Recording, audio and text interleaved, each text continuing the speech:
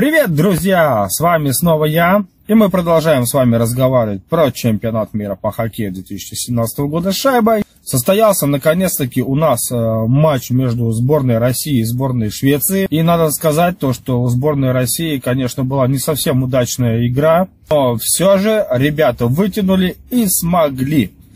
А именно что смогли, я вам сейчас расскажу. А в первом периоде сборная России смотрелась со сборной Швеции на одинаковом уровне, что по броскам, что по вбрасываниям. Большую часть первого периода э, наши входили в зону Швеции, пытались атаковать, но как только наши оказывались в их зоне, тут же буквально двое на одного встречали игроки сборной Швеции нашего игрока, тем самым не давав ему удержать долго шайбу в их зоне. Было произведено пару силовых приемов против наших игроков. В первом периоде снесли Додонова, знав то, что этот игрок э, с очень большой перспективой, то, что он э, может отдать как голевую передачу, так и забить гол. Но за весь матч было очень мало удалений. Наверное, просто все еще не вкатились э, в саму игру, потому что игра была очень нервозная. Это было а, видно со стороны нашей сборной. Если же шведы играли более поуверенней, а, то наша сборная немножко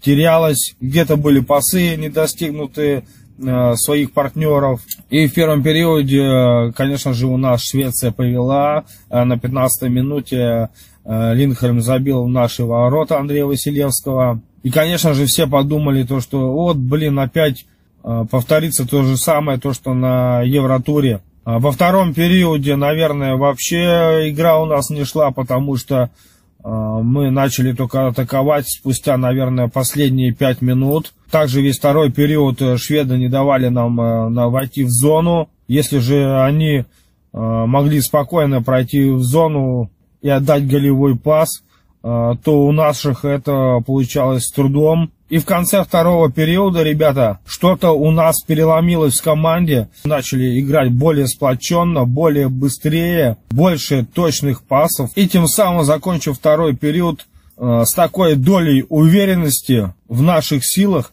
ребята начали третий период э, Тут, конечно же, поменяли немножко звенья. И игра пошла совершенно другая. Шведы даже не поняли, что произошло, почему сборная России начала играть э, более уверенно, более быстрее, более прессингующе. И шведы, конечно же, растерялись, потому что, наверное, минут 17 наша сборная больше и больше одолевала натиском э, сборную Швеции. И вот если бы, наверное, вот в первом периоде пошла бы у нас такая же игра, как она была в третьем, э, то, наверное, эта игра бы закончилась у нас без овертайма и без булитов.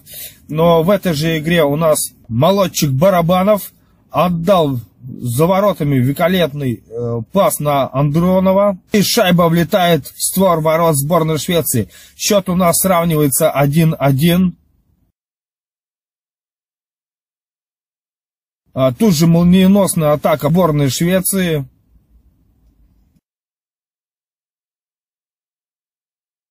Было у них время, чтобы забить нам свою победную шайбу.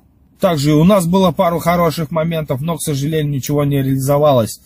И мы переходим в овертайм, и в овертайме был формат трое на трое. В овертайме, да, конечно, был великолепный шанс у Никиты Кучерова. Он вышел 1-1 на вратаря сборной Швеции и, к сожалению, не забивает гол. Шведы также делали пару острых моментов, и это ни к чему не привело. И мы переходим на серию булитов. И тут надо отметить нашего вратаря Андрея Василевского, то, что он молодец, он вытащил серию булитов. И, конечно же, наш игрок нападающий сборной России, Панарин, он сделал победный булит, и мы выигрываем у сборной Швеции. И счет у нас 2-1 в нашу пользу. Молодцы, ребята, первая игра за нами. Вот так вот держать. Вот так вот надо играть. Побольше натиска, скорости и прессинга. Не давать э, сопернику не думать ни о чем. А завтра же мы играем со сборной Италии 6 мая. Будем смотреть игру вместе и болеть за наших. Вперед, Россия! Спасибо, ребята, что смотрели меня. Всем большущего здоровья. А мы с вами еще увидимся, ведь у нас чемпионат мира по хоккею только начался, и впереди очень много всего интересного. Всем спасибо за просмотр, всем пока!